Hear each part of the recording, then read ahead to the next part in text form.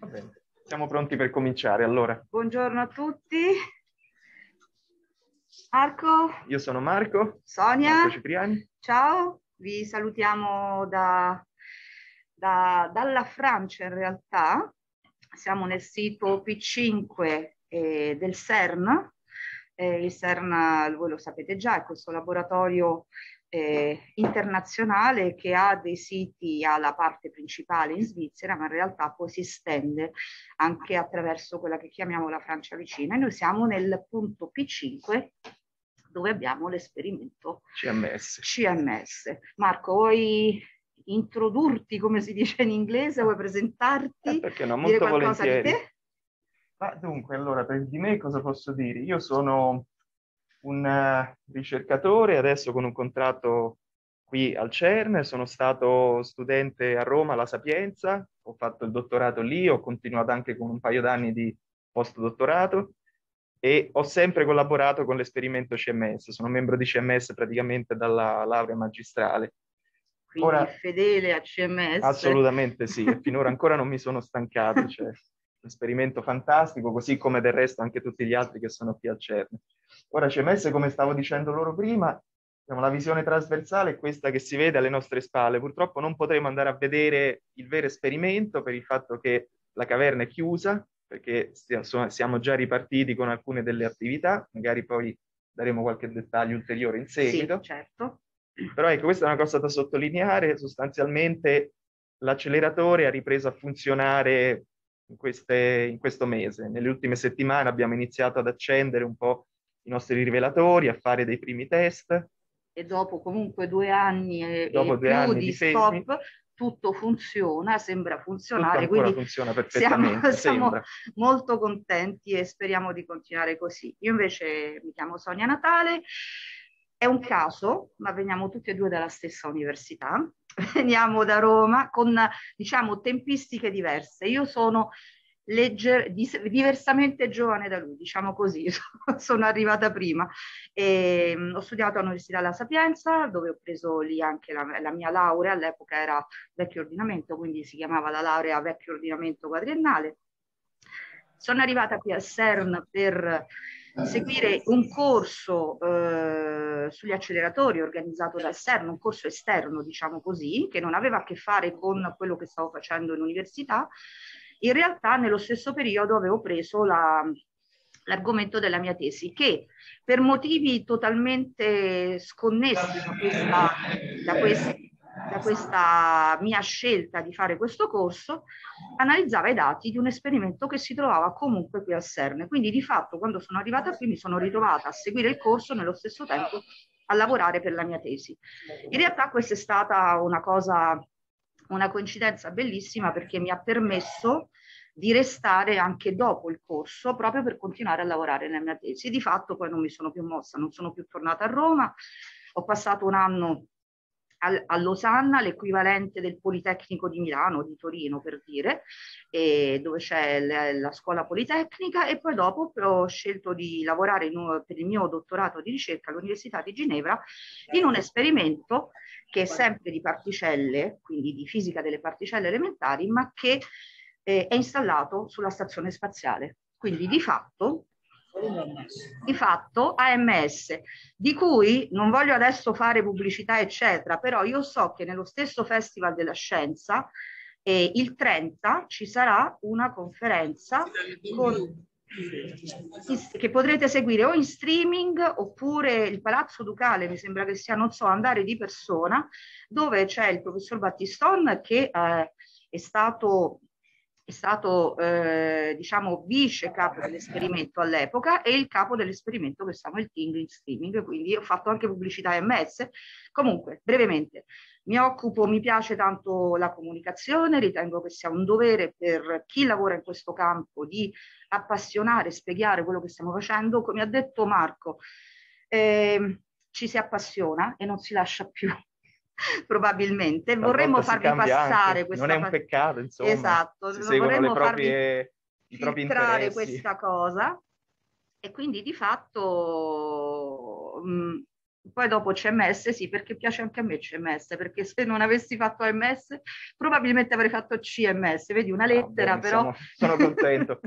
sì, è una cosa interessante da notare, visto che CTMS, è che qui noi abbiamo un esperimento, anzi in realtà più di uno, che si trova sottoterra, ben 100 metri sottoterra, mentre l'esperimento che tu hai citato si trova nello spazio. A Quindi 400 ci sono infiniti modi di fare e studiare la fisica delle particelle. Che poi di fatto in realtà è una sinergia, cioè guardiamo spesso le stesse, facciamo le stesse ricerche con metodi totalmente diversi, ma per rispondere alle stesse domande, quelle dell'antimateria, quelle della materia oscura e, e tante altre piccole cose. Quindi in realtà è una connessione, perché sempre di fisica di particelle si tratta, attenzione, AMS è astroparticelle, non astrofisica, ci tengo a dirlo, che è un'altra cosa, un'altra metodo metodologia di lavoro. Poi chissà, magari un domani avremo un esperimento basato sulla Luna. Ho letto un articolo a riguardo e di solito sembra una cosa futuristica e per adesso lo è, ma di solito funziona che prima qualcuno ci pensa, qualcun altro scrive un articolo e poi dopo un po' di tempo qualcuno esatto, lo costruisce anche, esatto. lasciando tutti a bocca aperta. Diciamo che per concludere questa succede. introduzione, così poi io vado, vi porterò attraverso, diciamo, userete i miei occhi e le mie mani, sono una specie di avatar per voi, diciamo così, per portarvi uh, appunto, scenderò a 100 metri sottoterra, diciamo, veramente no, a meno 80 e meno 90, perché come diceva giustamente Marco, siamo in fase di test e quindi non possiamo entrare nella caverna, ma questo, diciamo così, cioè, non è negativo, nel senso che si possono vedere comunque tante cose e magari vi invoglierà a, a pensare per il vostro futuro a un mestiere di questo genere, perché no? Va bene, quindi ci fai da Virgilio, mentre io so, magari faccio sì, Dante, magari però preferisco Beatrice. Giusto, Beatrice è più appropriata. Allora, Vado diciamo nel che, paradiso. Visto che io sono la seconda guida, io faccio Virgilio, tu scendi, visto che il 2021 è l'anno, l'anniversario di Dante, esatto. diciamo, sembrava anche interessante fare un parallelo. Beh, ma tu fai questo parallelo, in realtà a maggio abbiamo avuto, eh, maggio-giugno, non ricordo adesso, c'è stato un appuntamento con, non so come chiamarli, i letterati eh, di tutto il mondo della, della, lingua italiana, cioè molta gente, e quindi hanno fatto una visita a CMS. E io mi trovavo per caso in questo evento e ho condotto esattamente come uno pseudo Virgilio, una pseudo eh, Beatrice, andando nel meno 3, che è il meno 100, dell'inferno. E poi passando per il meno 2 che è il meno 90 il purgatorio per poi risalire su nel paradiso. A rivedere, a meno 80, a rivedere le stelle. Quindi ho fatto esattamente questa cosa, quindi il parallelo ci sta tutto. Allora, io direi questo, eh, io intanto comincio a prepararmi, magari ve lo faccio vedere da qui, in, diciamo in background, in maniera tale che così i ragazzi vedono come ci si prepara, come si accede anche a, questo, mh, a, questi, a queste zone sperimentali e ti cedo la parola e poi ce la passeremo durante la... Va bene. Quindi io mi... Fai un giro anche nella sala di controllo o andiamo direttamente, scendiamo Forse, sotto? Uh, uh, should we go Before down or we go first to the... Scusate, qui dobbiamo parlare inglese ovviamente, questo è un must. eh, questo è un must, anche se abbiamo... Allora, dobbiamo dire abbiamo Zoltan che è, quel, è, è il mago, è il mago che ci permette di fare tutte queste cose. e abbiamo Noemi che sarà, eh, avrò occasione di farla, eccola, ci viene a salutare, che verrà con me, mi aiuterà a non perdermi nei meandri di CMS. So what I would propose, yeah. since we are at an injection physics beam, probably yeah. it is better if you go around now, okay. because if it if it becomes stable beams, then we have to clear the control room. Yeah, okay. exactly. Ok, ok. Allora, vado prima nella, quindi nella, nella control room, faccio un piccolo giro, tu descrivi oppure dico io, va e bene. poi dopodiché scendo sotto, va bene? Va bene, d'accordo. Io vi saluto e ci vediamo prossimamente su questi schermi. Ciao. Ciao. And go out to SX5 and also to the Peter Shop room to show the Okay, allora magari mentre Sonia raggiunge intanto la control room, io vi dico giusto un paio di cose. Allora, leviamo il mio cappotto che è sicuramente meno interessante. Dunque, prima vi stavo mostrando questa immagine, questa è una visione trasversale di CMS, ovvero dovete immaginare che i fasci entrano nell'esperimento perpendicolarmente a questa immagine qui. Ora, questa foto non rende bene l'idea delle dimensioni, ma dovete pensare che CMS è un mostro alto, se ricordo bene, circa 12 metri. quindi piuttosto grande, ed è lungo circa 21 metri, quindi è una sorta di, di cilindro. Come potete forse notare da qui, in un certo senso è fatto da una struttura a strati, un po' come una cipolla, in cui si parte dalla zona più vicina al centro dei fasci, vediamo se riesco a indicarla, che di fatto sarebbe qui, dove cominciamo ad avere i primi rivelatori, ciascuno dei quali ha un compito ben preciso. Ora non so quanto voi magari abbiate già visto o vi sia stato raccontato di come funzionano i diversi rivelatori, ma sostanzialmente quello che accade è che ciascun rivelatore ha uno scopo preciso in base al modo in cui la materia, diverse particelle, elettroni piuttosto che altre, interagiscono nel momento in cui attraversano il nostro rivelatore. Generalmente nella zona più interna ci sono dei rivelatori chiamati tracciatori, e come forse il nome suggerisce, il tracciatore è un rivelatore che ricostruisce la traccia delle particelle cariche. Questo ci permette di fare molte misure interessanti riguardo le proprietà delle particelle che lo stanno attraversando. In particolare... Let me show you something. Ah, ok, Zoltan ci fa piacere di mostrarci un'immagine. Ecco. Questa che vedete qui sostanzialmente è la stessa immagine che vedete qui, una sorta di fetta. Se questa la immaginate come una pizza, quella che adesso dovreste vedere nell'immagine, they are seeing it, right? Yeah. Ok. They should. Perfect. Eh, qualora non la vedeste, magari fatemelo sapere, stiamo mostrando una fetta triangolare dell'esperimento in cui, come vedete, all'interno si parte da un tracciatore, che di solito è un rivelatore fatto a silicio. Dopo il tracciatore di solito vengono posizionati altri rivelatori chiamati calorimetri, magari se voi avete fatto un po' di termodinamica, il termine vi ricorderà un po' quegli strumenti usati per misurare gli scambi di calore. E in un certo senso è proprio quello che accade, le particelle, una volta che arrivano nel calorimetro, di fatto rilasciano tutta la loro energia là dentro. Questa poi viene convertita in opportuni segnali elettrici che noi possiamo leggere, interpretare, e da questi misuriamo, tra le varie cose, l'energia delle particelle. Una cosa che all'esterno poi dei, dei calorimetri nel caso di CMS abbiamo il magnete superconduttore, questo solenoide, una grande spira se volete, una sorta di molla se, per vederla diciamo come, immaginando come, come è fatta, e produce un campo magnetico molto potente di 3.8 Tesla.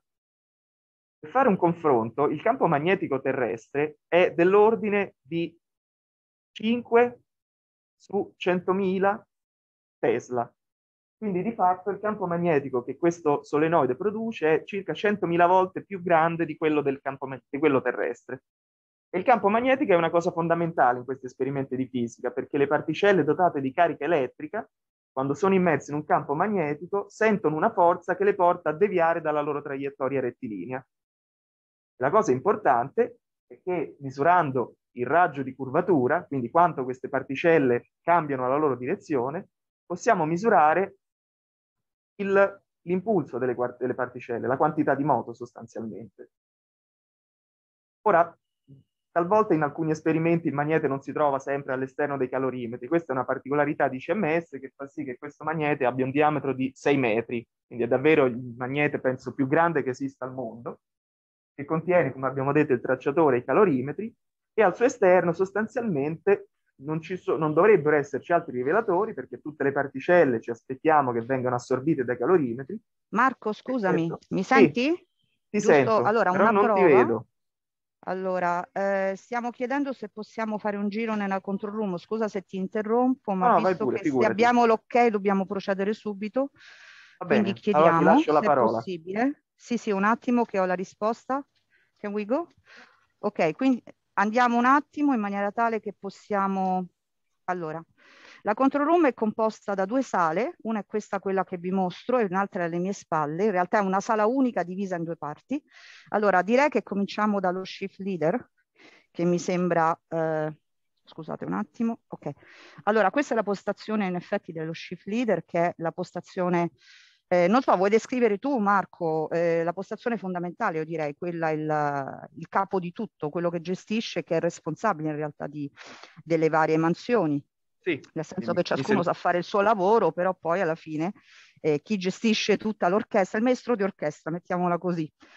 E credo di non dire male, di non dire male, visto che qui poi quando ci sono degli eventi e delle cose che succedono rispetto al rivelatore oppure delle, delle particolari cose, che, diciamo così, eh, che, che stanno succedendo, tipo far partire una presa dati, finire una presa dati, oppure doverla fermare, eccetera, eh, a quello che mi risulta vengono messe delle piccole, dei piccoli pezzettini di musica che sono dei ah, sì. giusto? tipo quando It's Kind of Magic quando si, si, ha un evento di Higgs, oppure Don't Stop Me Now quando si ferma una, un run, come lo chiamiamo noi, una presa dati. Eh, chiaramente non è che viene messo direttamente, è automatico perché chi ha, ha fatto il programma ha collegato questi piccoli pezzetti di musica, quindi come vedete non siamo affatto noiosi da questa parte. Ora, di fatto siamo come siamo in fase di iniezione cioè stiamo per iniettare i fasci, quindi eh, io non so se si riesce a vedere questo schermo, non vorrei disturbare moltissimo, ma forse Zoltan lo può mostrare lo può mostrare direttamente sul, sullo schermo eh, e quindi magari tu poi Marco puoi prendere l'occasione di spiegarlo meglio, i due fasci esatto, la linea blu e la linea rossa che esprimono, che rappresentano quello che sta, i due fasci di, che ovviamente viaggiano all'interno dell'acceleratore e viaggiano in direzioni contrarie. Ovviamente a un certo punto, quando saranno alla giusta energia, si faranno eh, collidere nei quattro rivelatori eh, che abbiamo sull'LHC. Io continuo nella mia, nella mia passeggiata all'interno della sala di controllo, vedete tante postazioni, non entriamo nel dettaglio, ma vedete monitor, eh, a volte ci si può assentare velocemente e poi tornare, dipende dal lavoro che si sta facendo e chiaramente quando a un certo punto ci saranno i fasci all'interno del e quindi le collisioni non sarà più possibile, non sarà più possibile stare qui perché ci sarà molto, come dire, molto lavoro e non possiamo intralciare. L'altra parte della control room, Marco, interrompimi se vuoi aggiungere delle cose. L'altra Bene, parte della pure. control room, room che è dedicata ovviamente diciamo quella era la parte di gestione generale, poi abbiamo una parte di gestione dei singoli, come li chiamiamo, sottorivelatori, cioè quelle fette che vi stava mostrando eh, Marco dalla, dalla, sezione del rivelatore, ciascuno di essi viene gestito da un, diciamo, un gruppo di persone che ne controlla il, il, il funzionamento specifico. E di fatto qui vedete che abbiamo tutta una serie di monitor, per esempio, ecco, io so che Marco ha lavorato nelle CAL, vi presento la postazione il, il calorimetro elettromagnetico che è dedicato per misurare l'energia in particolare degli elettroni o dei fotoni e, e quindi di fatto eh, questa è la postazione, in questo momento eh, non c'è nessuno, ci sono vedete eh, otto monitor qui, eh, però ci sono le altre persone, quindi chiaramente questo lavoro si potrebbe fare anche da remoto, però è ovvio che quando si è all'inizio di un test tutti vogliono essere qui perché se succede qualcosa vedremo, avremo delle, delle, delle mh, abbiamo delle, delle, sale di elettronica che sono in effetti eh, sotterranee, quindi se bisogna andare a cambiare qualcosa perché c'è un problema che non funziona, si è già nel posto giusto per poter scendere. Marco, volevi aggiungere qualcosa della control room posso andare? Posso puoi, puoi andare. Sì. Ok, perfetto. Allora, Adesso magari usciamo dalla control room. Magari in giusto due secondi concludo il discorso che stavo facendo prima. Quando parlavo, ero arrivato a parlare del magnete, inizialmente vi dicevo che all'esterno del magnete non ci dovrebbe essere nulla. In realtà, tipicamente ci sono dei rivelatori speciali che servono a rivelare i muoni. I muoni, non so se voi ne avete mai sentito parlare, ma potete vederli come dei cugini più pesanti degli elettroni e hanno la particolarità di essere capaci di attraversare la materia diciamo, per lunghe distanze prima di essere bloccati ed è il motivo per cui di fatto sono praticamente quasi le uniche particelle che possiamo trovare al di fuori dei calorimetri. E quelle zone rosse che vedete lì, quello è un gioco di ferro che serve a richiudere il campo magnetico prodotto dal solenoide, mentre le altre camere, quelle in grigio, rappresentano le camere per muoni. Ti rilascio la parola, Sonia. Allora, eh, approfittiamo del fatto, ecco, approfittiamo del fatto c'è una persona che sta entrando che farà esattamente quello che dovrò fare io tra qualche istante. Ora, questa è una delle varie porte di accesso che abbiamo per entrare, per cominciare a entrare nella zona sperimentale.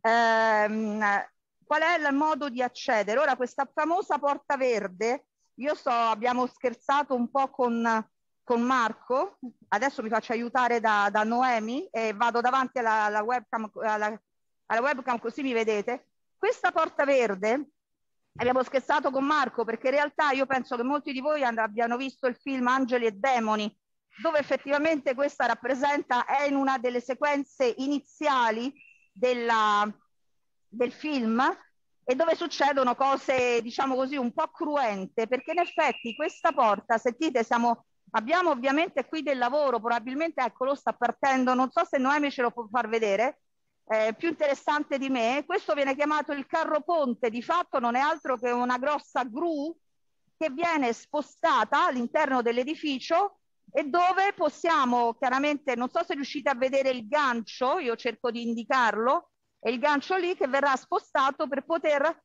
trasportare del materiale dalla zona eh, sperimentale. Vedete il gancio comincia a muoversi verso il centro e forse possiamo andare a vedere, dovrebbe scendere. Ora quello che non so se il materiale deve essere portato giù, eh, immagino di sì perché vedo delle scatole, quindi molto probabilmente questa operazione consisterà nel prendere del materiale e scenderlo attraverso questo, uh, non lo chiamiamo pozzo, in realtà è, è, un buco, è un grosso buco.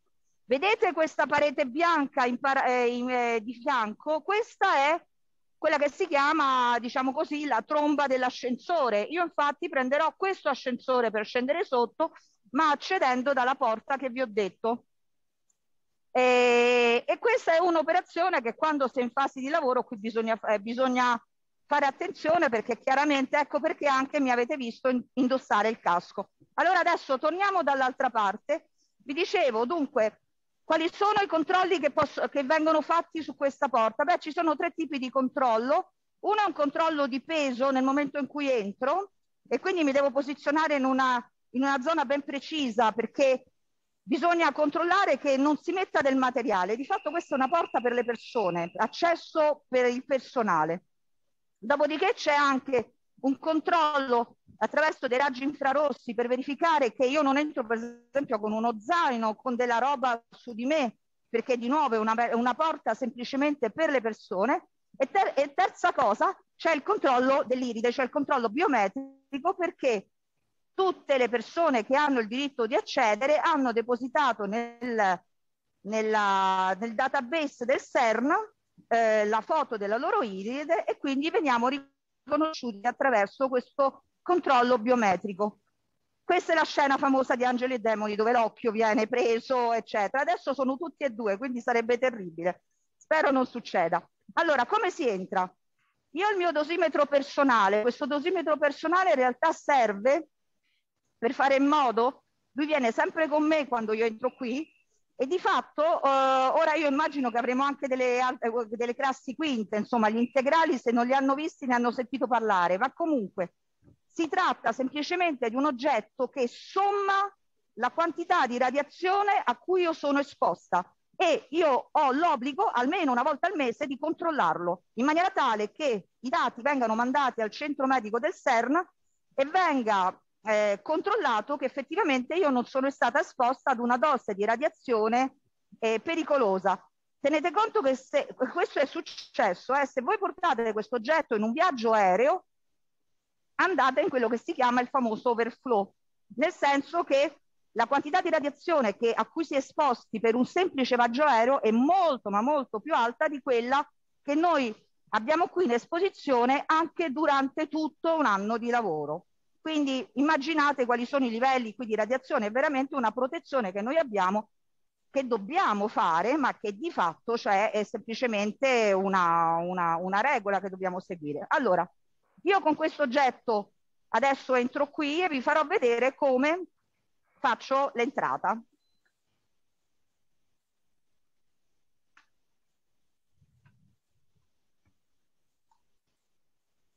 Ovviamente magari posso dirvi che, diciamo, per non spaventare qualcuno che già abbia dei timori sull'uso dell'aereo, che chiaramente la radiazione che viene prodotta durante le collisioni dei fasci in grandissima parte viene assorbita dal rivelatore stesso, è proprio il suo scopo. Ah, scopo. certo, certo, certo. Oltre al fatto che il rivelatore stesso si trova in una caverna, diciamo, con eh, delle strutture di contenimento di vari materiali, insomma, che chiaramente devono catturare tutta o almeno la gran parte della radiazione residua.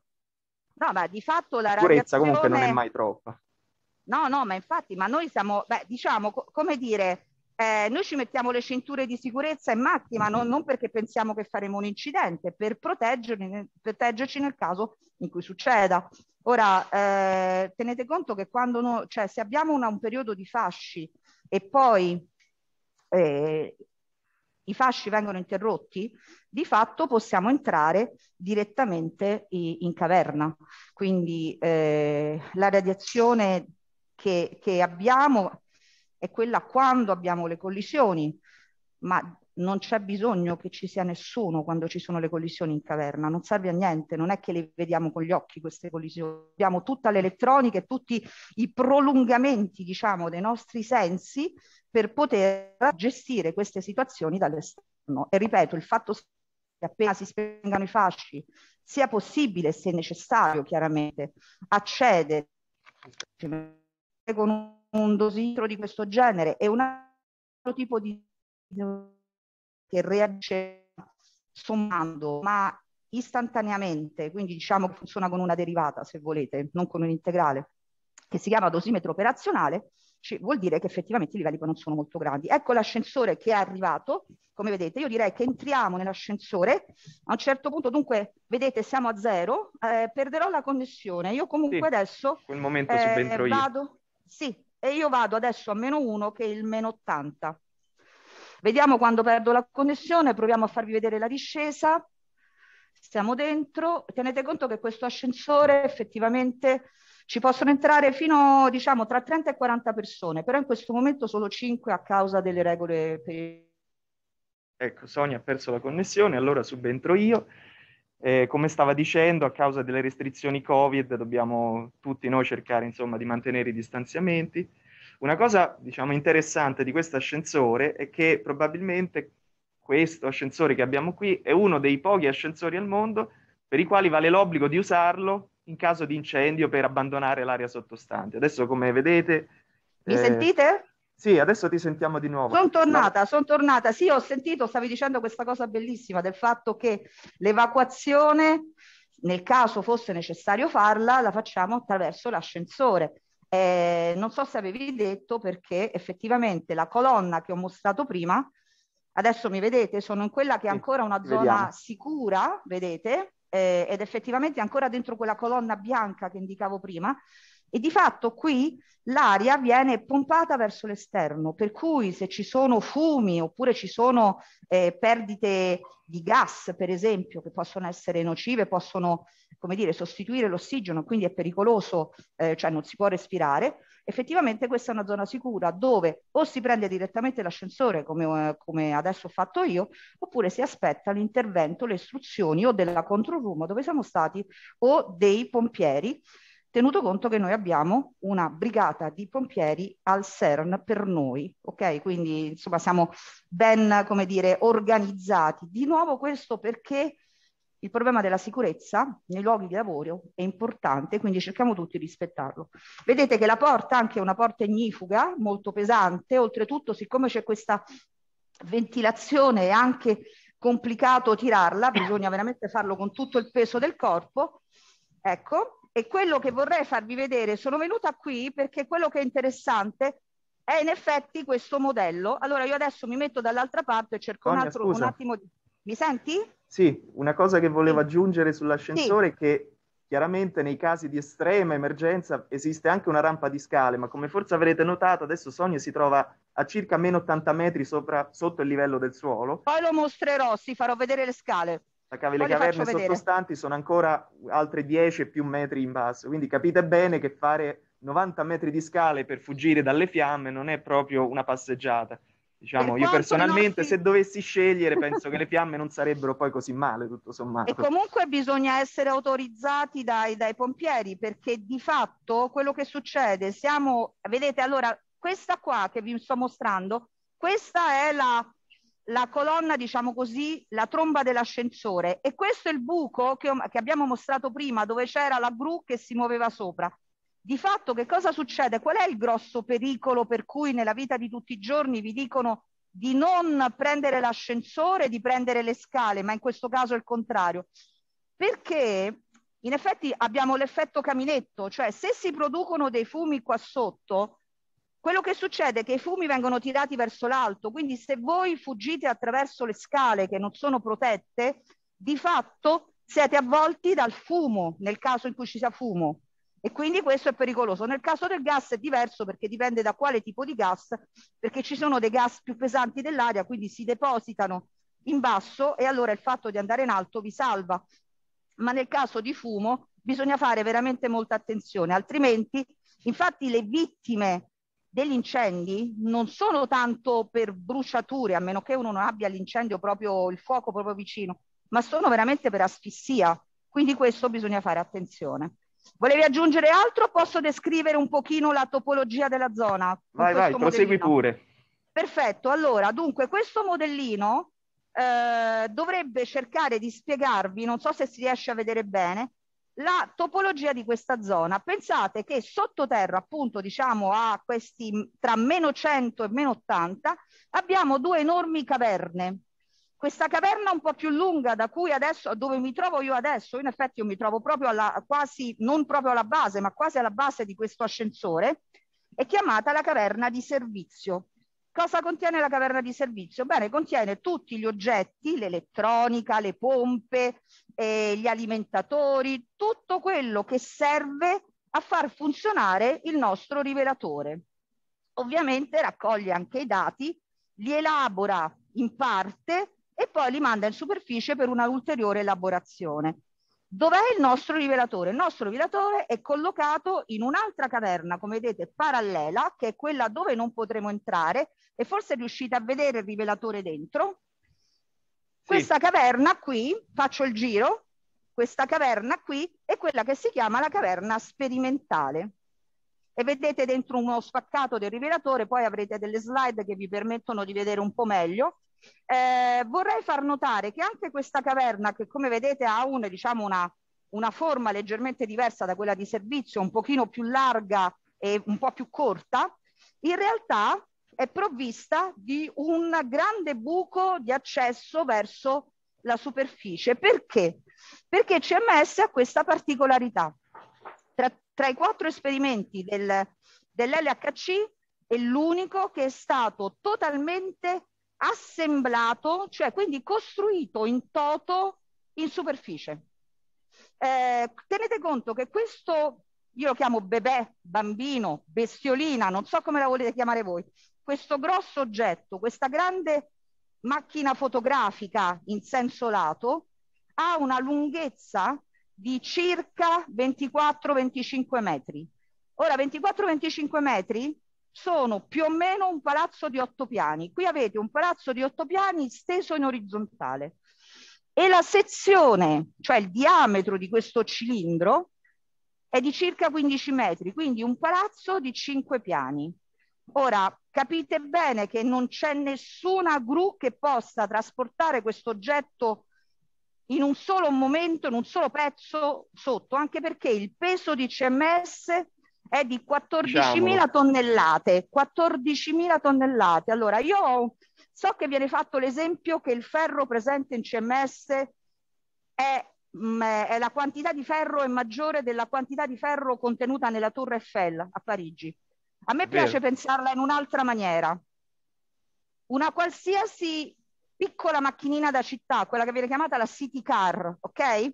Io dico sempre, ormai faccio pubblicità perché la macchina elettrica mi piace tantissimo, la Zoe, eh, ma diciamo più o meno una, una city car pesa una tonnellata, più o meno, ok? Allora immaginate che le, il peso equivalente di questo oggetto è una collina, se la volete chiamare collina, o piccola montagna di 14.000 automobili una sopra l'altra.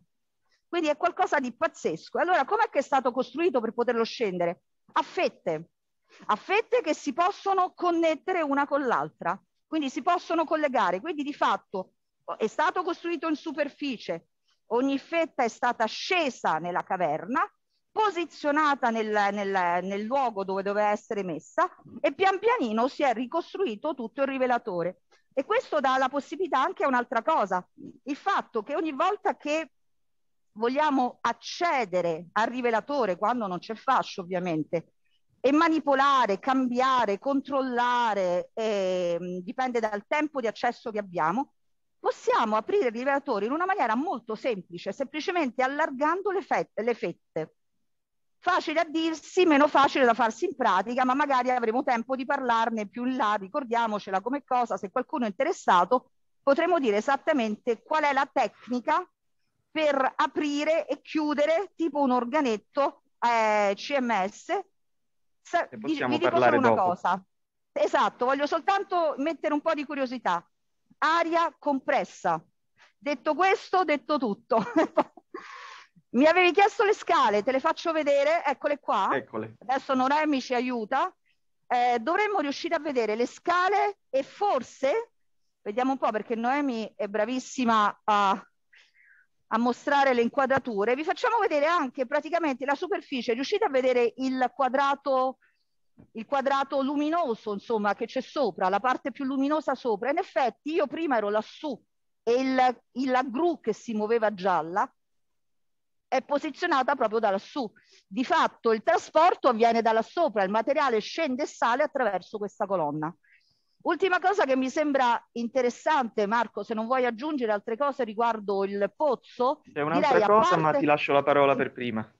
Ok, d'accordo, e poi dopo ti lascio aggiungere. Bene, una cosa interessante è le colonne, come vedete, per la ventilazione, vedete questa parte grigia da questa parte qui, e poi questa, spero di indicarlo bene, questa cosa marrone, ecco Noemi lo sta mostrando, che in realtà non è, sembra marrone, ma in realtà sono cavi di, eh, sono proprio cavi e sono cavi di eh, rame.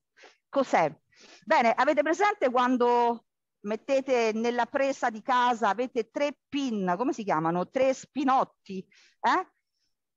Uno è la terra, quella che chiamiamo la messa a terra, eh? chi ha fatto un po' di elettricità a scuola, nel senso avete fatto la messa a massa, la messa a terra, eh, insomma il punto di riferimento del potenziale.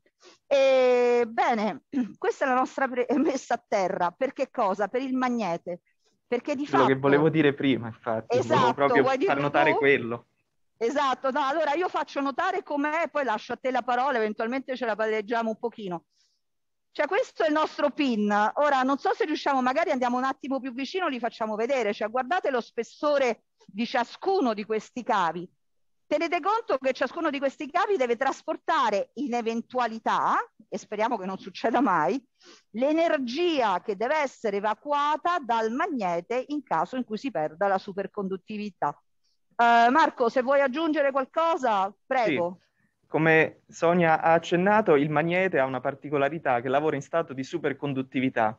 Questo vuol dire che in determinate condizioni di fatto non produce resistenza elettrica e la corrente che ci scorre all'interno è dell'ordine di circa, se ricordo bene, 18.500 ampere. Sì, è una sì, corrente enorme. Marco, io l'ho sì. visto, nel senso non l'ho solamente letto da qualche parte. Ero con Noemi che faceva le misure e ho proprio visto questo numero, quindi sono sicura che è giusto. Ed è una cosa enorme perché già un ampere è una corrente che può essere potenzialmente mortale, anzi molto probabilmente lo è. Se voi prendete una pila da un volt, quelle le comuni pile per uso domestico, e la, diciamo, chiudete il circuito da braccio a braccio, magari non lo fate, ma non, non è particolarmente pericoloso con un solo volt, siccome la vostra resistenza elettrica tipica, tipica del corpo è dell'ordine di un megaohm, la corrente dalla quale sareste attraversati è dell'ordine di un milionesimo di ampere. Quindi 18.000 ampere, capite bene che è una corrente enorme. Ed è per questo C'è un che quelle esempio bobine... che possiamo fare.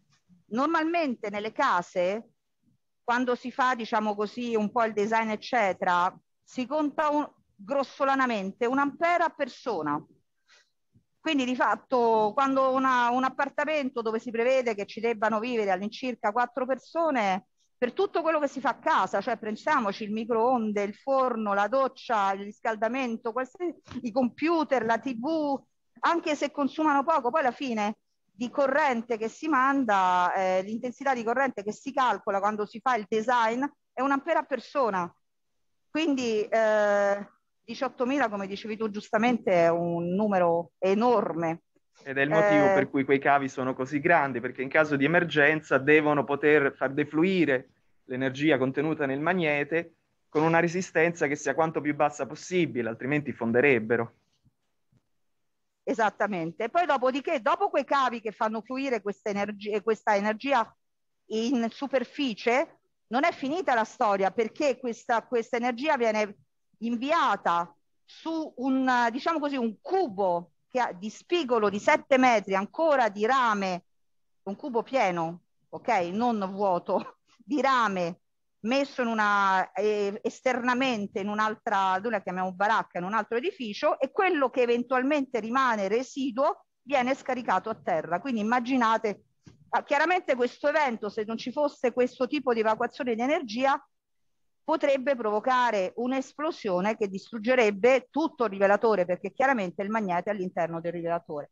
Visto che parliamo di campo magnetico, vi faccio vedere che vi, eh, noi abbiamo il magnete in questo momento acceso. Vedete la segnalazione del, del, che c'è campo magnetico. Non possiamo entrare, come vedete, da questa parte perché accederemmo alla caverna, ma quello che facciamo invece adesso ci dirigiamo dall'altra parte. Eh, vediamo una porta gialla effettivamente qui dove non possiamo accedere di nuovo. Allora, i colori delle porte, come, come ama dire, come ama dire Zoltan, eh, io sono, mi, mi, piace, mi piace ripetere la, uh, mi piace ripetere eh, quello che lui dice, non è che lo cambiamo perché abbiamo finito la pittura, è perché a seconda dell'accesso, eh, cioè il colore delle porte, ci indica l'accesso. Di fatto, molto brevemente, se qualcuno, cioè se si forza una porta verde, di fatto non si ha alcun impatto su quello che succede sulla presa dati, sul fascio, ma se si cerca di forzare una porta gialla o addirittura abbiamo una porta rossa, si può avere eh, impatto sulla, sulla circolazione del fascio, nel senso che il fascio può essere interrotto. E quindi vedete che qui adesso abbiamo tutto quanto il sistema di monitoraggio, come sta mostrando no Noemi, perché non possiamo accedere alla caverna sperimentale. Quello che facciamo adesso, ci dirigiamo dall'altro lato, quindi io sono adesso, sono scesa di un piano, sono a meno 90, e ci dirigiamo dall'altra parte dove vi mostrerò, vi mostrerò semplicemente una delle stanze dell'elettronica eh, che è un, una parte del cervello che permette di interpretare i dati che vengono presi dalla caverna. Sonia, Quindi, se posso aggiungere... So, sì quello che prima Sonia vi raccontava ah. riguardo il fatto che il fascio viene inibito nel momento in cui si forzano determinate eh, entrate è legato a motivi di sicurezza. Chiaramente quando ci sono queste attività con i fasci in corso che collidono poi nei rivelatori, nessuno deve trovarsi in determinate aree perché è pericoloso, si sviluppano radiazioni. Quindi il, i sistemi di sicurezza sono tali per cui qualora venga rilevata la presenza di una persona, vengono effettuate determinate azioni che di solito appunto coinvolgono la, lo spegnimento dei fasci. Questo è anche uno dei motivi per cui dalla, eh, dal livello superiore da cui Sonia è partita ci sono tutti questi controlli biometrici, il fatto che nelle porte non ci si possa entrare ad esempio in due, questo perché bisogna sempre sapere chi, chi entra, quanti escono, eh, proprio per evitare che rimangano persone, eh, diciamo, giù. Ad oggi risulta che nessuno sia mai rimasto abbandonato ai piani, superiori, ai piani inferiori e continueremo, diciamo, con questa, a mantenere sì, questa, questo record.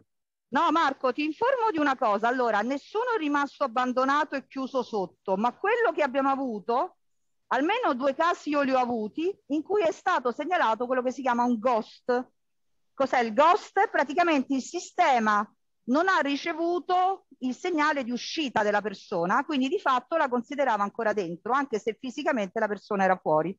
È successo una volta eh, ad una persona che conosco ed è successo, credo, durante le porte aperte perché i caschetti che noi usiamo e anche quelli che diamo ai visitatori quando possono venire qui hanno un chip e quindi li possiamo seguire. E quello che succedeva quando a fine evento eh, avevamo tutti i caschetti messi a posto, quindi le persone erano uscite, il sistema ci segnalava ancora qualcuno dentro.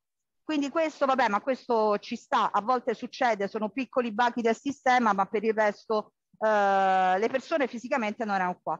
Ora, eh, sono qui proprio a indicarvi questo cartello dove vedete, se voi foste venuti qua, questo è diciamo il bonus di avere una visita virtuale, voi non sareste potuti entrare in queste zone dove io invece adesso andrò.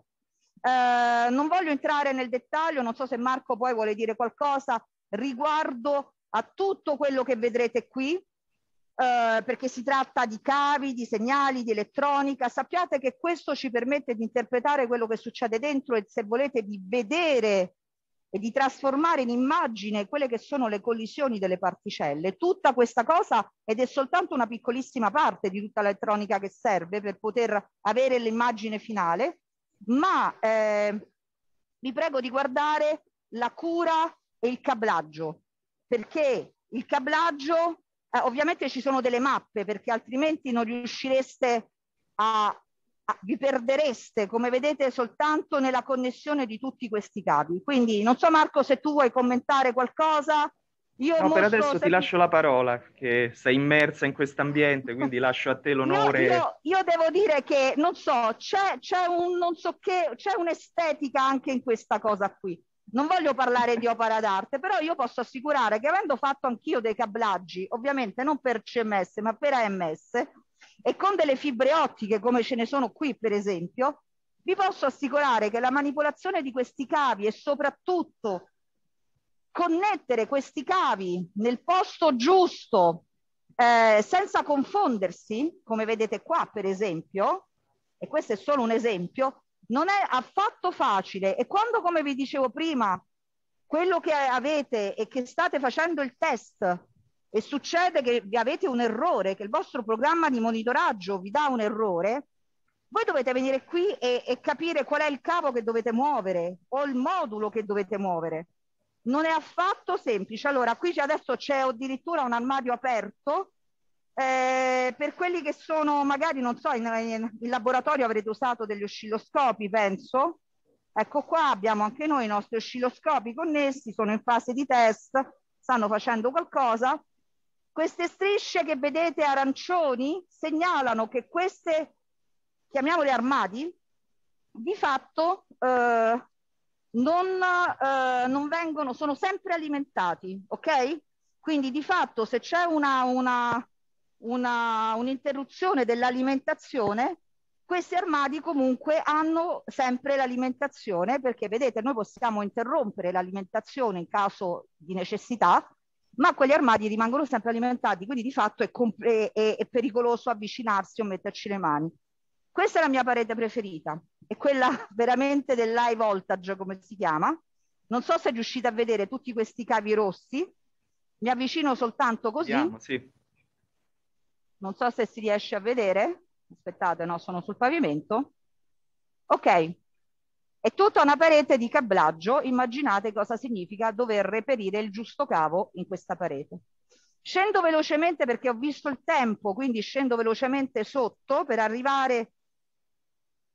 Allora, sto scendendo ancora sotto, quindi siamo, uh, diciamo, sempre al meno 90, ma un livello leggermente più basso. Abbiamo questa porta rossa che vedete, questa porta rossa in realtà è una seconda via di fuga ed è quella che permette a, a CMS di poter ricevere i visitatori durante l'anno anche quando c'è la presa dati fino a questo punto. Ok? Questo è perché semplicemente abbiamo la possibilità o di tornare indietro come da dove sono venuta io o di uscire da questa porta. Non tutti gli esperimenti hanno questa possibilità e di fatto CMS risulta essere tra i quattro esperimenti di, eh, del, dell'LHC l'unico che permette di scendere anche durante la presa dati, anche se, ripeto, non si può andare nella zona, eh, nella caverna sperimentale che, a cui si accede attraverso questo corridoio che io adesso percorro ma arriverò davanti alla famosa porta Puoi soffermarti sulla, sulla, sull'immagine del, dell'acceleratore che hai alla tua destra? Sì, un attimo. Eh, torno indietro. Quella porta rossa che abbiamo visto prima, no, intendevo quella Questa? dall'altro lato. Ah, vabbè, si uh, vede anche ah, qui, sì, qua. sì. Proprio okay, l'immagine no, dell'acceleratore okay. così com'è nella realtà. Quella porta rossa che vedevamo prima è un la porta di accesso a una porzione del tunnel che a un certo punto si mette nel vero tunnel dove è posizionato l'acceleratore, di cui qui vedete un'immagine eh, che è più o meno in scala reale. Sì, se Noemi mi aiuta un attimo, vi faccio vedere come uno potrebbe far passare l'idea che si trova sull'acceleratore. Come potete immaginare, quando portiamo i turisti qui... Questo non è vero, lo fanno tutti, ma questo non è, non è affatto vero perché di fatto solamente chi lavora può entrare nel tunnel dell'acceleratore, non ci sono visite per l'acceleratore. Quindi... No, infatti intendevo, lo fanno tutti a stare sull'immagine, non sul vero ah, sì, sì, sì, sì, no, certo, no, no, no, no, però abbiamo una ricostruzione in uno dei siti dell'acceleratore, quindi eventualmente si può fare anche là. Questa è la famosa porta gialla, identica a quella che dicevo prima, quindi non possiamo entrare, ma possiamo fare qualcosa. Adesso ci mettiamo un attimo a giocare. Eh, ok, allora abbiamo, abbiamo allora, la caverna è da questa parte, ok? Diciamo che eh, la, la parte finale dell'esperimento è a circa 30 metri, qualcosa del genere, e abbiamo questo campo magnetico che teoricamente dovrebbe essere totalmente intorno all'esperimento. Chiaramente non riuscite a fare il 100% del contenimento del campo magnetico e questo è quello che si vede qua. Vedete questo, guardate questo, questo è un rivelatore molto costoso, come vedete, ok? Eh? Eh, io ci scherzo su questa cosa. Allora, ragazzi, cioè, con le graffette, guardate che si può fare, ovviamente non una misura, ma si può qualitativamente controllare il campo magnetico. Eh, se si calibrasse questo oggetto si potrebbe anche fare una misura. Adesso vi faccio vedere come. Guardate qua, vedete questa catenella così? Proviamo a metterla qua. Qui ci sono delle viti che si magnetizzano. Ok? Eccola qua. Io questa la chiamo la bilancia magnetica. Mi piace tantissimo. Mi è capitato per caso. Allora, chiaramente che cosa succede? Avete la forza magnetica che tiene in equilibrio questa cosa e dopodiché c'è la forza di gravità. Allora, quello che è successo a me una volta, che facendo questa cosa, quindi aggiungendo, adesso come vedete il campo magnetico, la forza magnetica è sufficiente a mantenere tutta questa struttura, ma se io continuassi ad aggiungere eh, graffette, ad un certo punto questa cosa cadrebbe a terra. Perché? Perché vorrebbe dire che non c'è più equilibrio, che di fatto la forza di gravità è, è maggiore di quella magnetica. Quello che mi è successo una volta è che io giocavo con questa catenella che so perfettamente tenersi quando il campo magnetico del rivelatore è a 3.8 Tesla, cioè al suo nominale, diciamo così, e invece non si attaccava, mi cadeva a terra e non capivo perché. La prima volta ho pensato che fosse colpa mia, l'ho riattaccata due o tre volte e non si manteneva. Allora sono tornata in sala di controllo e ho chiesto se c'era qualche problema con il campo magnetico e mi hanno detto che avevano per ragioni di testo, non so adesso, avevano dovuto mettere il campo magnetico alla metà dell'intensità che di solito si usa. Quindi vedete che io non ho potuto fare una misura effettiva, però ho potuto capire con delle semplici graffette che effettivamente il campo magnetico era più debole. E questo semplicemente con qualcosa eh, che, diciamo così, che uno non penserebbe essere uno strumento eh, di misura sperimentale, diciamo così. Quindi, come vedete, la fisica poi è qualcosa che si vive e che si fa tutti i giorni. Noemi mostra anche un'altra cosa. Guardate, abbiamo una bussola qua. Vedete il pin? Guardate, io giro il telefonino, ma non fa altro che orientarsi sempre seguendo le linee del campo magnetico che ovviamente non vediamo, ma che sono là e che provengono dalla caverna. Vedete? Ok? Quindi questo uno dice, ah, ho bisogno della bussola. No, no, guardate, eh, chiaramente bisogna avere il campo magnetico sufficiente. CMS per che per quanto pesa esatto. non è esatto. comodo da portare in giro, però. esatto, esatto. Quindi, ok, um, io non so se c'è qualche altra cosa, altrimenti comincerei a tornare indietro. Ah, ecco, forse questa è carina da mostrare. Vedete questo segnale? Oh, questo non vuol dire questa è un'area di riposo, come certe volte scherziamo quando portiamo i visitatori. Questo vuol dire che ci potrebbe essere pericolo di asfissia. Ok?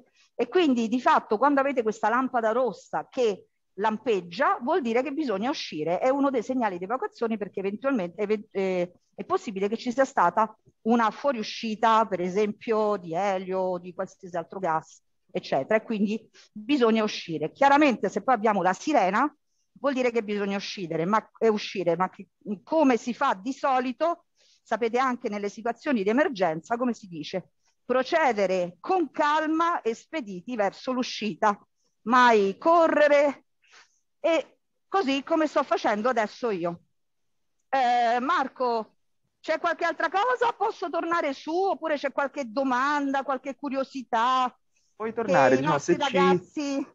Io direi che puoi tornare, se ci sono domande possiamo lasciare la parola agli studenti. Non so, Zoltan, certo, how does it work io... for the question? Do they write or do they ask directly? Sorry? They can ask directly. Ah, ok. They can unmute and potete directly. semplicemente levare la modalità muto e farci delle domande, oppure se preferite potete anche scriverle nella chat. Ci sono qui io che le sto guardando, se arrivano. Non siate timidi, ragazzi. Assolutamente no, ci dispiace purtroppo che viste le attività che ormai sono riprese non è stato possibile accedere direttamente a vedere l'esperimento CMS, ma eh, diciamo capiterà, insomma, oltretutto se andate su YouTube ci sono diversi video in italiano fatti da, insomma, da noi studenti o ricercatori che siamo qui che magari vi possono mostrare eh, più da vicino effettivamente come è fatto il rivelatore, perché vi garantisco, starci effettivamente sotto è una cosa davvero emozionante, è un, un oggetto enorme, non è neanche il più grande che abbiamo, ce n'è un altro, il rivelatore Atlas, che ha la proprietà di essere molto più grande di CMS, credo sia alto sui 40 metà... metri. No, è alto 27 metri e lungo, la lunghezza è lungo 40 e alto 27 metri anche sì, 30 palazzo... che dipende dal punto diciamo da cui si fa la misura, ma CMS pesa molto di più. Il doppio. Immaginate... Il doppio. Il doppio. Mi hanno detto, di... non l'ho provato sì? a fare, che se uno immaginasse di prendere Atlas e metterlo in una grande busta di, di plastica e gettarlo in mare, Atlas dovrebbe galleggiare, è meno denso dell'acqua. Sì, Mentre invece Quello... CMS affonda miseramente, quindi ovviamente non esatto. lo faremo, neanche quando dovremo smaltire il rivelatore una volta che avrà finito il suo corso, ma se dovessimo farlo, questo è quello che vedremmo.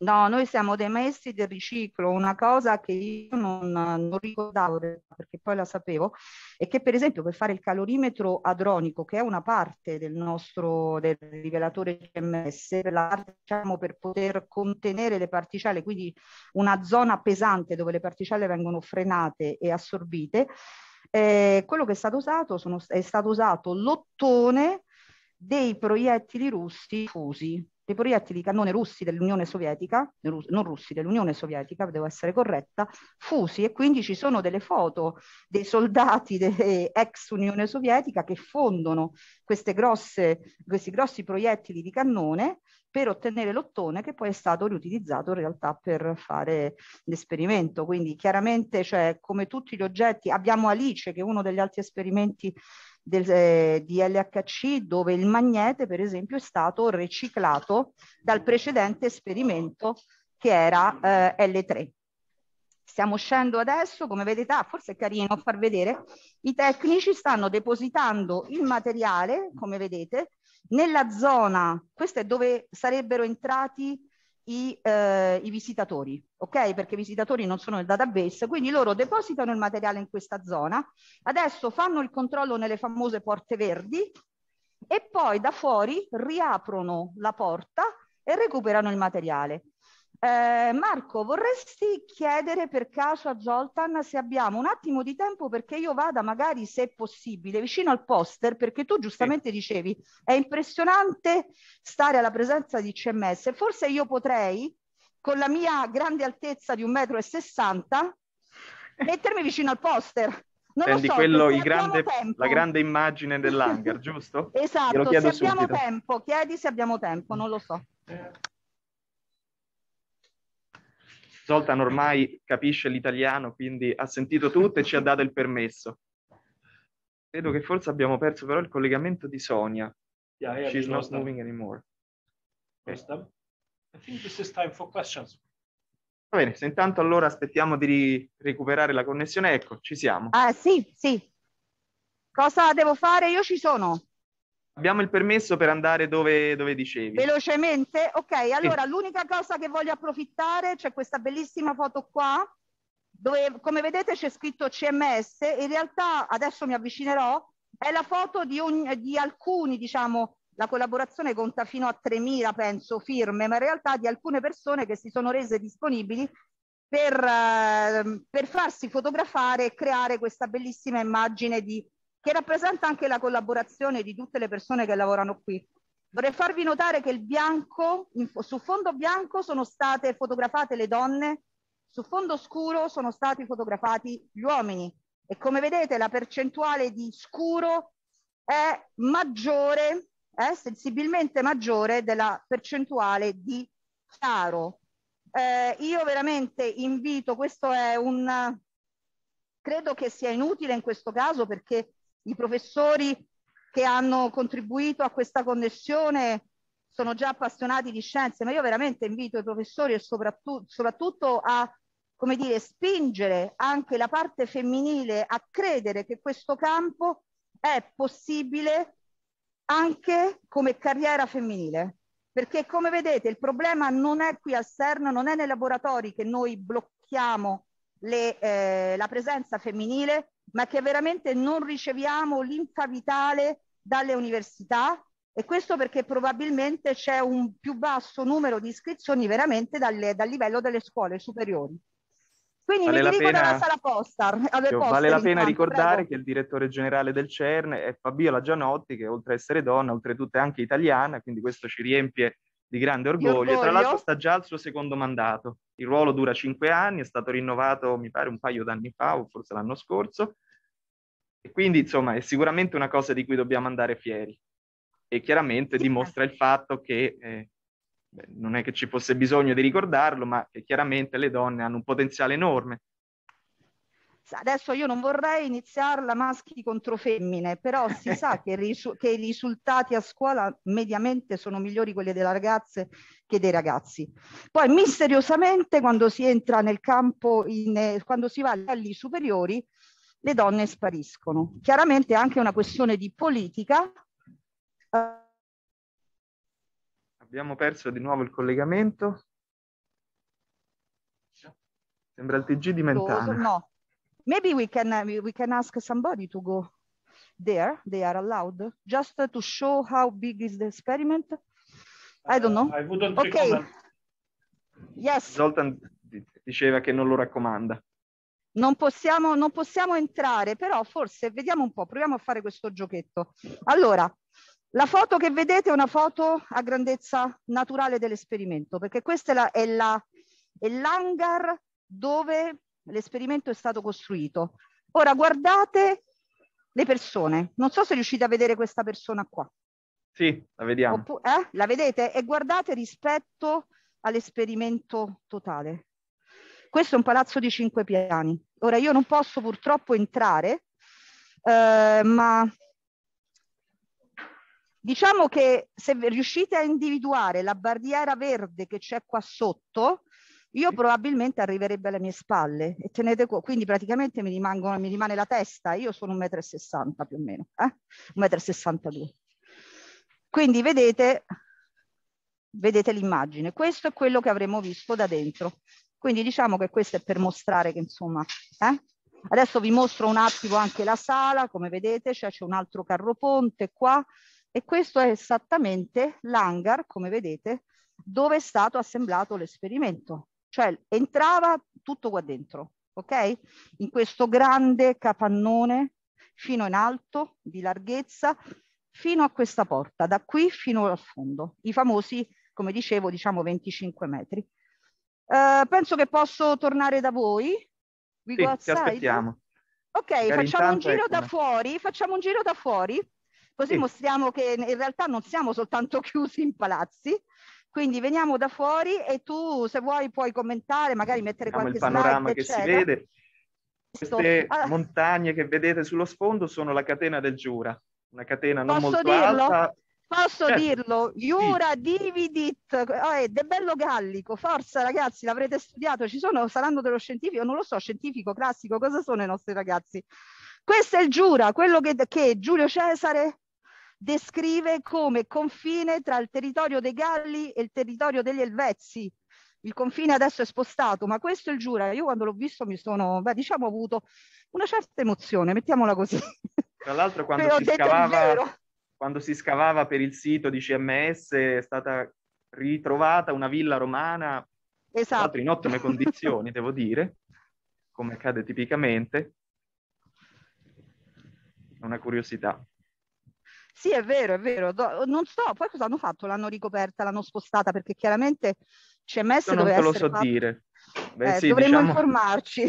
Se fosse accaduto Eccoci. come a Roma, che come si scava si trova una villa e si sospendono i lavori della metropolitana, sarebbe stato un gran problema. Ma... Eccoci. Eccovi ritornati. Abbiamo fatto questo giro del labirinto, ecco Sonia che è tornata Eccomi. a rivedere Sono le stelle. Aspettate che tolgo la connessione. Allora, direi che è andato tutto bene.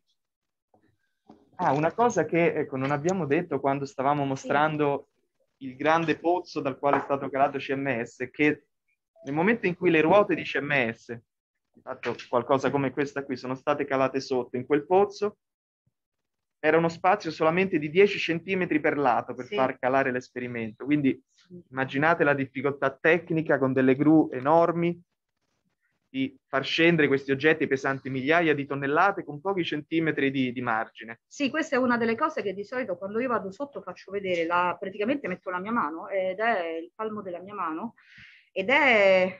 Allora, le gru venivano dal porto di Genova, quindi venivano da casa vostra, ragazzi. Ok? Il, dal porto di Genova le classiche gru per i, i, le grandi navi, ora non so, eccetera, per i container. Ci sono volute per la parte centrale 12 ore per scendere questo oggetto in questo buco proprio per evitare oscillazioni che altrimenti l'avrebbero distrutto e 8 ore all'incirca per i pezzi laterali perché sono un po' più leggeri. Ah, piano piano. Eh. Quello tu stavi dicendo la differenza tra Atlas e CMS, io amo chiamare, a me piacciono i paragoni con il cibo. Allora, CMS è un brownie e Atlas è una meringa ok? Proprio perché Atlas galleggia, come dicevi tu, e CMS va a fondo. Eh, non so, abbiamo domande, qualcosa? Vediamo un po' nella chat la realizzazione dello strumento. Eh... Beh, vuoi andare tu, altrimenti No, aspetta, io. non ho visto, dov'era? Qui. Chi ha finanziato eh. la, diciamo di tutto ah, No, vai tu, perché io dei soldi io mi occupo di scienza. Ah, va bene. No, non ricordo numeri, ho paragoni, ma non ricordo no, numeri. Beh, sì, Se tu diciamo, sai qualcosa più di me... Allora, il CERN è innanzitutto un ente molto eclettico a cui partecipano davvero tanti istituti, innanzitutto tanti paesi. Mi dimentico sempre il numero esatto, ma credo che sia. Allora, no, in totale bisogna distinguere tra stati membri esatto. e poi esatto. stati, diciamo, associati. Allora, questo te lo posso dire, sono 23 stati membri e gli stati membri finanziano con del denaro direttamente col del denaro, quindi dal, diciamo, dal budget eh, della ricerca scientifica, per esempio italiano, una piccola percentuale arriva qui e ovviamente viene trasformata in progetti, in sostenimento del laboratorio, in stipendi, in, in tante cose.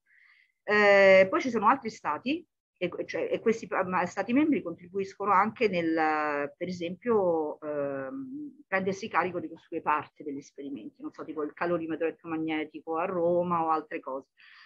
E, ehm, e, poi pagano la gente, perché non tutta la gente che lavora con il CERN è assunta dal CERN, anzi la maggior parte è assunta da altri istituti, istituti università e poi lavora su progetti del CERN.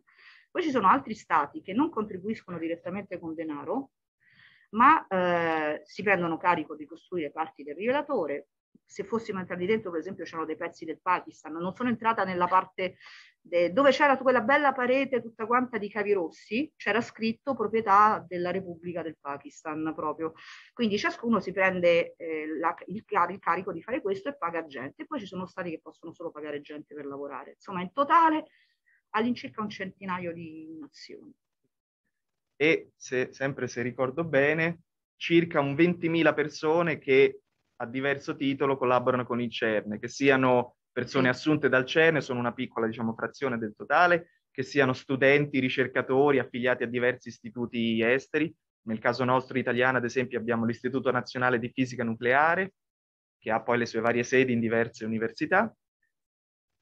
E, e, a questo poi si aggiungono anche altri elementi del personale, non necessariamente di fisici, parliamo di ingegneri, tecnici, informatici, chimici, matematici chimici. e ingegneri poi di ogni tipo, dall'ingegnere spaziale, perché ce ne sono, perché poi alla fine uno studia criogenia, per esempio, facendo ingegneria spaziale, quindi abbiamo bisogno di, ingeg- di criogenia, Nonché ingegneria anche, civile. Esattamente, nonché anche personale che, se vogliamo, viene un po' da, diciamo, eh, studi di carattere più umanistico, ad esempio qui abbiamo il Dipartimento delle Risorse Umane, più altre persone certo. che in certo. qualche modo collaborano a mantenere attiva la vita eh, ma degli esperimenti, di ma che... diciamo anche del, del, personale che mantiene ovviamente la, la, parte amministrativa, a parte che poi al CERN in generale abbiamo anche, come dicevo, abbiamo i pompieri, abbiamo i medici, perché abbiamo il dipartimento medico, abbiamo eh, un, un, piccolo gruppo di avvocati, perché ci servono anche quelli, insomma abbiamo un, tutta una serie di... Abbiamo, abbiamo come si chiama, il, il, ah, come si chiama? Il, la, la, l'asilo per i, per i figli dei dipendenti, insomma abbiamo varie strutture, però effettivamente... È una piccola cioè, città il CERN, esatto. effettivamente. Tornando, tornando, a quelli che sono le persone che poi lavorano nel settore scientifico, quello bisogna dire magari può essere interessante per i ragazzi che eh, non serve per forza avere una laurea in fisica o in ingegneria, cioè si può essere anche un tecnico specializzato. Molta della gente che abbiamo incontrato, la gente che avete visto mettere il materiale dentro, non erano né dei fisici né dei fisici con dottorato, erano dei tecnici, dei tecnici sopraffini che spesso sanno fare il loro lavoro meglio di noi fisici e noi apprendiamo. Io, io ho, ho, imparato da un tecnico dell'Università di, Gine, dell'Università di Ginevra come fare molte cose sui silici, che è il mio campo, eh, quindi eh, effettivamente, cioè, però bisogna fare un percorso che è più breve come studio, è molto molto specializzato e si lavora in questo campo, quindi chi non avesse l'idea di fare un percorso accademico può sempre, come dire, eh, ritagliarsi un'altra figura e continuare un'altra, un'altra tragitto, diciamo così, un'altra carriera e continuare però, cioè per sperare di poter lavorare qui se interessato, questo è chiaro. Oltre al fatto da ricordare, questo è importante, che questo è un ambiente in cui convergono persone provenienti, come dicevamo, in parte per via degli istituti che partecipano, ma in generale davvero da ogni parte del mondo. Abbiamo gente che magari a casa loro non si può vedere, diciamo, non direttamente loro che lavorano qui, ma diciamo a livello di stati e di politica magari Pakistan ci sono diverse... India, Pakistan e India, tanto per dirne una. Abbiamo tanti esempi.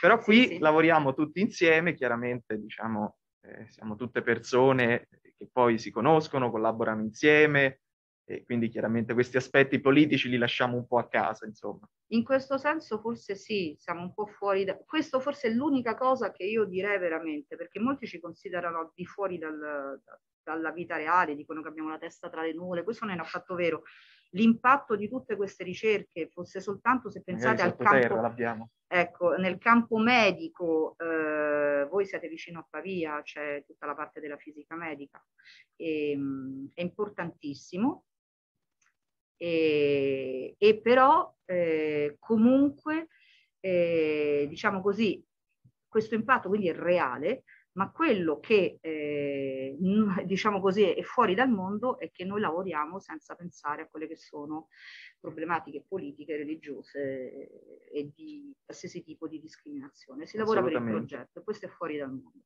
Credo che dobbiamo chiudere la connessione, mi pare di capire. Only eh, two schools sì. remain. Non okay. so se c'è qualche altra domanda, altrimenti...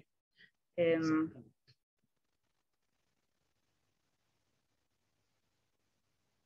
volendo, non so, io e Marco rimaniamo anche aperti a rispondere a domande via email, non so se Certamente. possiamo dare il nostro email eventualmente, ci potete rintracciare attraverso l'organizzatrice Federica e eventualmente, quindi siamo sempre, sempre, felici se avete altre domande, curiosità, a volte le domande vengono dopo.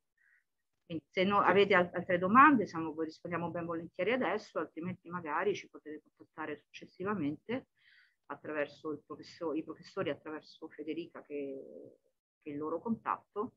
Qualcuno conosce anche me, penso ci siamo incontrati. Ed eventualmente eh, potrete anche poi venirci a trovare. Adesso credo che per le visite in sito sia un po' ancora problematico per via delle restrizioni dei, dei viaggi, oltre che anche la difficoltà magari de, della permanenza qui. Però in generale, forse lo sapevate, il CERN organizzava e tendenzialmente organizzerebbe tuttora visite sul sito. ed è una cosa che veramente se avrete la possibilità vi invito a fare perché oggi forse siamo riusciti magari a darvi un'idea di quello che c'era nel sito sperimentale, magari anche un po' quello che accade qui intorno, ma la cosa veramente interessante è proprio venire qui, vedere cosa succede, vedere che non è in un certo senso una sorta di base di Star Trek dove lavorano persone misteriose. Anche se sono sotto... una fan di Star Trek. è un luogo di lavoro molto particolare sicuramente, una prospettiva di carriera. Una prospettiva di carriera, sicuramente. Con diverse, con diverse applicazioni, ecco, che poi possono diventare fisico che si dedica al campo medico, fisico che si dedica al clima, adesso abbiamo il global warming che è qualcosa, un hot topics come si dice, il fisico che fa la fisica delle particelle, il fisico che va a fare la fisica nello spazio, sia come astroparticelle che come astrofisica, il fisico che si dedica all'arte, all'archeologia, perché anche quelle sono applicazioni, insomma. E alla medicina, oltretutto. Esatto, e al campo medico, sì. E quindi non lo so, cosa facciamo? Chiedo ai professori, ci sono altre domande oppure possiamo chiuderla qui? Non si sente nulla, quindi non sappiamo se ci state rispondendo.